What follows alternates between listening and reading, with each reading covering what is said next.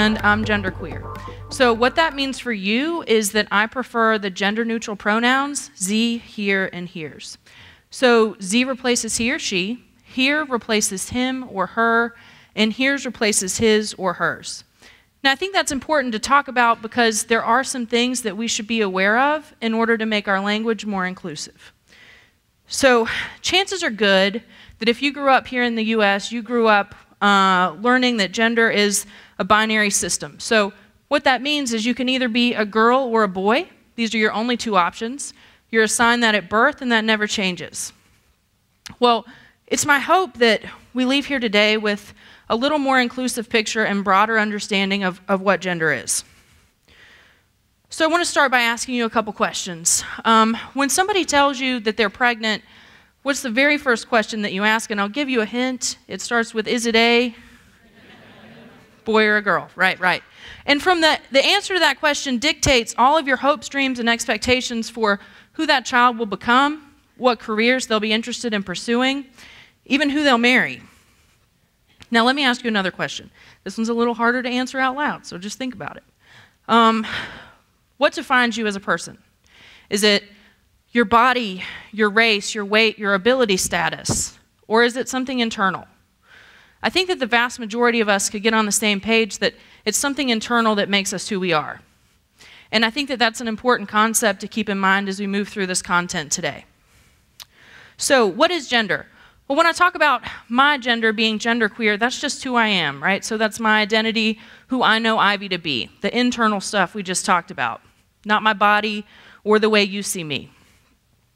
But when I talk about the design of gender and how it functions in society, then we're talking about a socially constructed system of classifications. And we know that this is socially constructed rather than something that science tells us because it changes over time and from culture to culture. Now, you might be sitting there thinking, there are only men and women. This is a universal truth but it's not. So let's look at some examples of uh, different cultures that use non binary systems of gender classification. We can look to Two Spirit folks in Native American culture who embody what it is to be both male and female. They're often held with high regard and even considered spiritual leaders. Or we can look at Germany, where parents don't have to put gender markers on their child's birth certificates. And it was found to be inhumane to require people to surgically change their body in order to change their legal documentation. We can look at India, Pakistan, or Bangladesh that all offer third gender markers. Um, we can look at even New Zealand and Australia who do the same, and they denote that by an X on their passports and uh, driver's licenses. The list goes on and on of these different examples, but I think there's one more to talk about when we have this conversation about gender in the South, and regardless of how you feel about the book yourself, that's the Bible. There are non binary people in the Bible. They're called eunuchs, some by birth and some by choice, but they're not ever condemned. So, how do we interact with gender here in the US? Well, we enforce a very rigid gender binary here, both in terms of identities and expressions. So, we see the systemic erasure of non binary identities in everything from our public restrooms to dorm rooms on college campuses, clothing sections in stores, and the list goes on and on. Um, I want to take a minute to lift up Chase Culpepper, who is one of the many blessings that this work has brought into my life. She's a brilliant young trans woman who was getting her driver's license at the Anderson DMV but because her gender marker says that she's male, the DMV would not allow her to take her photo unless she removed her makeup.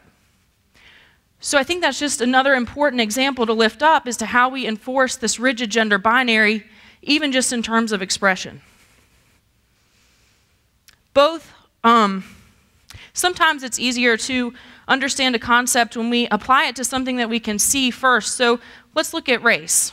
Um, Race cannot be described accurately by checking a box as to if you are black or white. There's a large and growing segment of the population that falls somewhere in between, and people who fall completely off of that scale. Well, if we take that and apply it to gender, it looks like this. Gender cannot be described accurately by checking a box as to if you are male or female. There's a large and growing segment of the population that falls somewhere in between that, and people who fall completely off of that spectrum.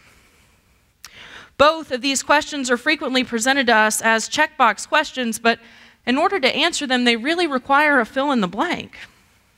See, gender is a spectrum, and the number of identities that exist are only limited by the number of people that exist. When we allow ourselves to see beyond that binary, we allow ourselves to see the beauty that is diversity. And that this is not some hypothetical concept that I'm talking about. My people have existed for thousands upon thousands of years. So, what's my truth? I'm frequently told that I'm in the wrong bathroom, regardless of which one I'm in. I'm misgendered about 85% of the time in my interactions with people on a daily basis.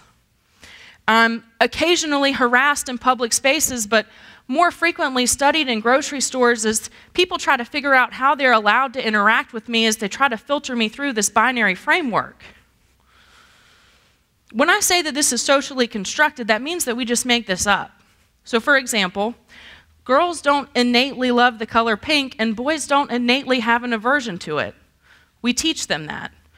We didn't start assigning colors to gender until the early 20th century. And when we did, pink was a boy's color because it was closer to red, which was the color of warriors. Blue was a girl's color.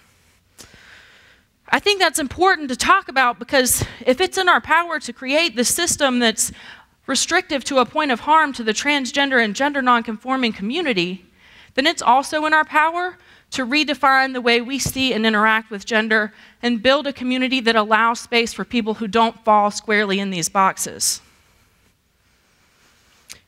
So, I want to lift up some reasons why this should matter to you. Blake Brockington, Leelah Alcorn, Ash Haffner.